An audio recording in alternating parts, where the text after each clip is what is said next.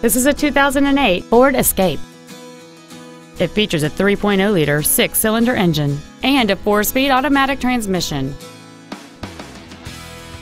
Its top features include a power driver's seat, a split folding rear seat, cruise control, satellite radio, leather seats, a multi-link rear suspension, aluminum wheels, a low tire pressure indicator, an auto-dimming rear view mirror, and this vehicle has fewer than 37,000 miles on the odometer.